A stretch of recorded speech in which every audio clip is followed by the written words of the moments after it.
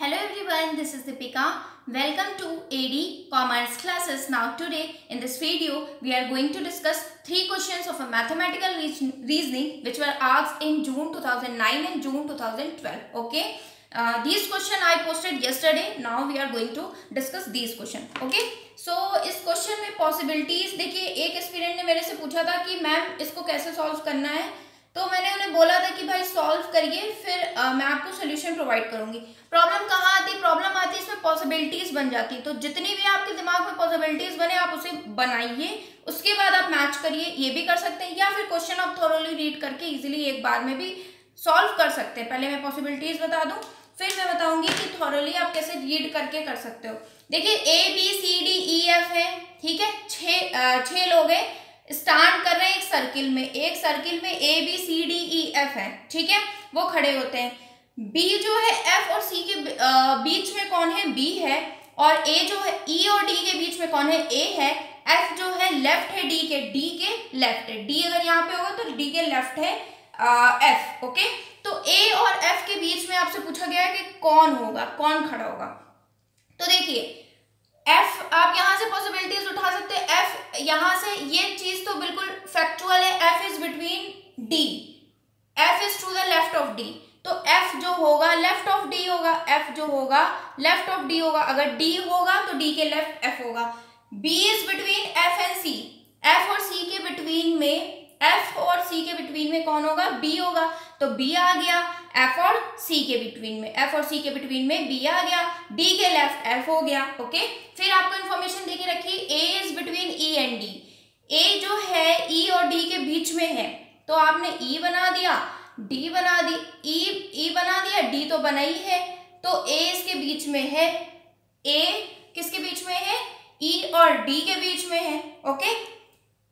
ई और डी के बीच में कौन आ गया? ई और डी के बीच में ए आ गया। ठीक है तो आपसे पूछा गया ए और एफ़ के बीच में कौन होगा? ए और एफ़ के बीच में आपको अच्छे से नज़र आ रहा होगा ए और एफ़ के बीच में कौन है? डी है। तो डी करेक्ट हो जाएगी इस पर्टिकुलर क्वेश्चन के लिए। तो D is correct for this particular question I hope ये आपको समझ में आ गया होगा इसमें कुछ भी ऐसा डिफ़िकल्ट था नहीं। बस आपको क्वेश्चन सही से रीड आउट करना था कि क्वेश्चन दिया क्या था। A B C D E F थे। उन्हों, उनको आप सर्किल में बैठा लो। कुछ बच्चों ने ऐसे किया होगा।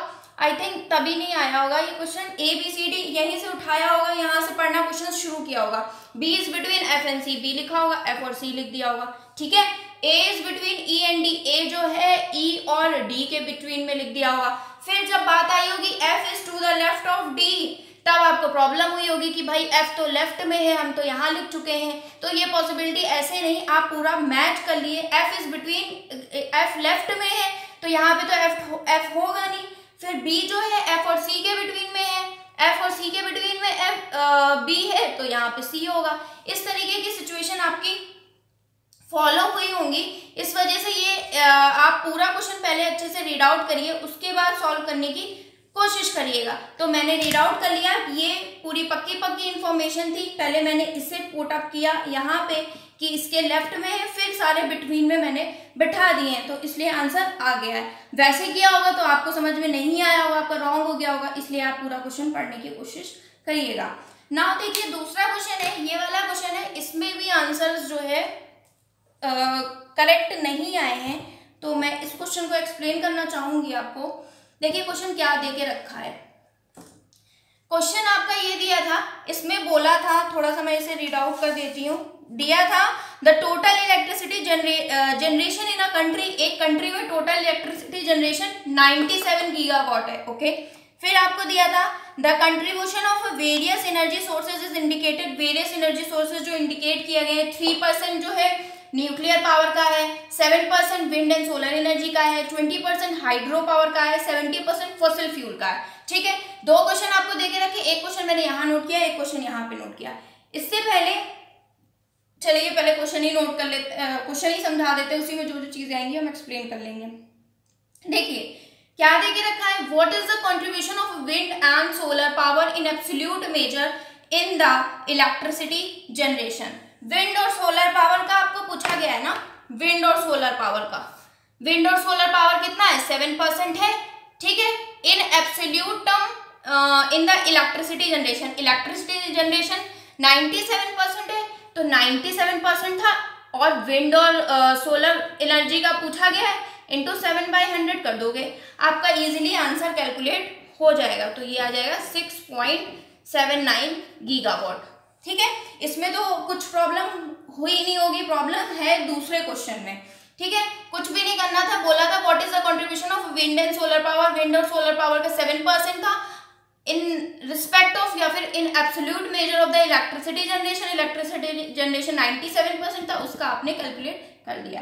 प्रॉब्लम कहाँ आई थी? प्रॉब्लम आपको आई थी इस वाले क्वेश्चन में। इस वाले क्वेश्चन को मैं समझाना चाहूँगी। देखिए what is the contribution of renewable energy sources in the absolute term in the electricity generation electricity generation absolute term वो तो पता ही है 97 गीगावाट इलेक्ट्रिसिटी ठीक है? Renewable energy sources in absolute term देखिए, किस, कहीं कहीं बुक में कहीं कहीं ये गड़बड़ देखे रखा है। देखिए रिन्यूएबल और नॉन रिन्यूएबल में क्या अंतर होता है? देखिए रिन्यूएबल वो होती है कि ज़्यादा टाइम तक ये रहती है मतलब जल्दी से ये ख़त्म नहीं होती रिन्यू हो सकती हैं, ठीक है? जैसे हमारा बायोमास आ गया हाइड्रो पावर आ गया, ठीक है? बायोमास है हाइड्रो पावर है जियोथर्मल एनर्जी है विंड एंड सोलर एनर्जी है, ये सारे हमारे रिन्यूएबल एनर्जी या रिन्यूएबल रिसोर्सेज हम बोल सकते हैं, या फिर हम बोल सकते हैं कि सेल्फ रिप्लेशिंग होते हैं, ठीक है? World will never run out of them मतलब दुनिया इन चीज़ों से ख़त्म नहीं हो सकती है। मतलब ये हमारे पास प्रचुर मात्रा में है या फिर ह्यूज अमाउंट में है। ये काफ़ी अमाउंट में है, हम इसे चाह कर भी जल्दी ख़त्म नहीं कर सकते हैं, ठीक है? जैसे सोलर एनर्जी है, ठीक है? हमें सूर्य से प्राप्त हो रही है, कुछ ह्यूमन मेड तो है नहीं। जल्दी खत्म होने वाली तो है नहीं, ठीक? ऐसे विंड एनर्जी है विंड से हम एनर्जी बना रहे हैं विंड तो हमें गॉड गिफ्टेड मिल रही है मतलब नेचुरल है, ठीक है? तो विंड एनर्जी भी हमारी रिन्यूएबल है, ठीक है? दुनिया अगर चाहे भी, हम लोग चाहे भी तो इन्हें जल्दी खत्म नहीं कर सकते हैं। जिन्हें हम जल्दी खत्म नहीं कर सकते, उन्हें हम बोल सकते हैं कि रिन्यूएबल एनर्जी होती हैं। दोबारा से रिन्यू हो सकती हैं। एग्ज़ाम्पल आपके पास बायोमास है हाइड्रो पावर है सोलर एनर्जी है विंड एनर्जी है जियोथर्मल एनर्जी है। ठीक है? Biomass hydro hydro power geothermal wind energy या फिर सोलर एनर्जी तो यहाँ पे जो विंड और सोलर एनर्जी है, ये आपके रिन्यूएबल रिन्यूएबल है. मतलब दोबारा से रिन्यू हो सकती है, ये ह्यूज अमाउंट में हमें फ्री ऑफ़ कॉस्ट अवेलेबल होती है विंड एंड सोलर एनर्जी ये रिन्यूएबल है, ठीक है? अब देखिए क्या लिखा है आपका. अब देखिए नॉन रिन्यूएबल भी मैं बता देती हूँ. जैसे आपकी नेचुरल गैस है फॉसिल फ्यूल्स है कोल है ऑयल है ठीक है? ये सारी चीज़ें आपकी न्यूक्लियर एनर्जी है, ये सारी नॉन रिन्यूएबल है। नॉन रिन्यूएबल मतलब जल्दी से रिन्यू नहीं हो सकती हैं, या फिर हम बोल सकते हैं कि फॉसिल फ्यूल्स जो होती हैं are form within the earth earth के अंदर फॉर्म होती हैं।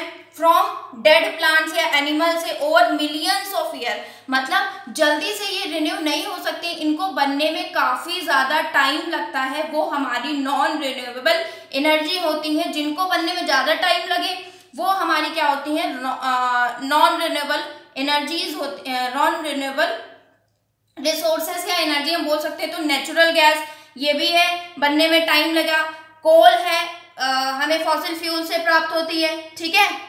फॉसल फ्यूल से हमें कोल मिल रहा है तो वो भी हमारा नॉन रिन्यूएबल हो गया, ठीक है? तो फॉसल फ्यूल्स उस क्वेश्चन में दिया है नॉन रिन्यूएबल है।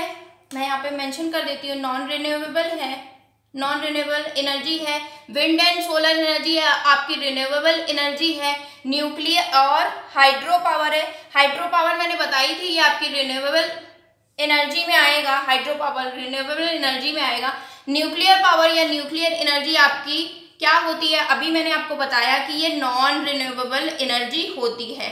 अब आपको क्वेश्चन इजीली समझ में आ जाएगा।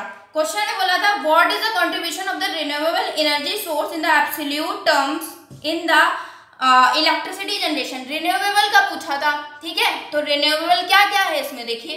Wind wind and solar energy है और क्या क्या है? हाइड्रो पावर है। विंड एंड सोलर एनर्जी है। जो कि सेवन परसेंट है विंड एंड सोलर एनर्जी और हाइड्रो पावर आपकी ट्वेंटी परसेंट है तो टोटल ट्वेंटी सेवन परसेंट हो जाएगी, जो कि आपकी रिन्यूएबल एनर्जी हो जाएगी। तो आप इसे फाइंड आउट कर लोगे ninety seven into twenty seven divided by hundred okay यहीं पे प्रॉब्लम आई थी तो आपका ये सॉल्व करोगे, आपका आ जाएगा twenty six point one nine giga watt ठीक है? तो ऑप्शन नंबर ये करेक्ट हो जाएगा twenty six point one nine giga watt तो यही क्वेश्चन था, इसी में यहीं पे प्रॉब्लम आ रही थी। अब देखिए, इसे मैं रफ करके एक लास्ट क्वेश्चन बचा है, उसे मैं समझा देती हूँ। वो वैसे तो क्वेश्चन ज़्यादातर बच्चों ने सही किया है बट स्टिल मैं बता देती हूँ, किसी किसी का गड़बड़ हो सकता है वो क्वेश्चन देखिए क्वेश्चन आपको दिख नहीं रहा होगा, इसलिए मेरे को फिर से बनाना पड़ रहा है। क्वेश्चन में आपका ये दे के रखा था सर्किल दिए थे तीन ओवरलैपिंग या फिर हम बोल सकते हैं ये वेन डायग्राम आपका दिया था। ठीक है? जी दिया था ए दिया था C B D F and E दिया था ओके ये आपके जो थे इंग्लिश नोइंग पर्सन थे। देखिए यहाँ पे। ये आपके इंग्लिश नोइंग पर्सन थे, ठीक है? इंग्लिश नोइंग पर्सन थे इंग्लिश नोइंग पर्सन थे। दूसरे, ये वाले जो आपके थे, वो पर्सन वर्किंग एज टीचर थे मतलब पर्सन वर्किंग आज टीचर ठीक है? और आपके ये वाले जो थे, वो हिंदी नोइंग पर्सन थे। कौन थे? हिंदी नोइंग पर्सन आपसे क्वेश्चन में क्या पूछा गया था? क्वेश्चन में आपसे पूछा गया था। जस्ट अ मिनट क्वेश्चन में आपसे पूछा गया था if you want to select Hindi and English knowing teacher which of the following to be selected अगर आप सेलेक्ट करना चाहें हिंदी और इंग्लिश नोइंग को हिंदी और इंग्लिश नोइंग टीचर्स को मतलब हिंदी भी आती हो इंग्लिश भी आती हो टीचर भी हो तो आप किसको सेलेक्ट करेंगे? आपके पास ऑप्शंस कुछ थे जी था बी था सी था ई था। देखिए, तीनों चीज़ें कॉमन किसमें है? देखिए जी अगर लेंगे तो आपका हिंदी में आ गया, ये तो होगा नहीं जी तो होगा नहीं, ठीक है? फिर बी अगर आपका लेंगे तो बी आपके इन दोनों में आ गया मतलब इंग्लिश और इसमें आ गया, ये भी नहीं होगा। ई e अगर आप लेंगे तो ई e इंग्लिश में आ गया ये भी नहीं होगा। सी बचा और सी हमें साफ़ साफ़ दिख रहा है आ, कि सी हमारा इंग्लिश नोइंग पर्सन में भी है हिंदी नोइंग पर्सन में भी है पर्सन वर्किंग एज टीचर में भी है। ये देखिए तीनों को ओवरलैप कर रहा है ये जो पोर्शन है ये तीनों में कवर हो रहा है। सी वाला इसलिए ये हो जाएगा सी ये करेक्ट हो जाएगा ओके दूसरा क्वेश्चन आपसे पूछा गया था if you want to select person who do not know English and are teacher अगर आप सेलेक्ट करना चाहें पर्सन जिन्हें इंग्लिश ना आती हो मगर वो टीचर हो तो आप क्या सेलेक्ट कर, करोगे इसमें से? जिन्हें क्या ना आती हो इंग्लिश ना आती हो ठीक है? आपके ऑप्शंस कुछ इस तरह दे के रखे थे ई जी बी ए जिन्हें इंग्लिश ना आती हो तो आप ये बी और डी ई ये सब आप तुरंत ही हटा सकते हो।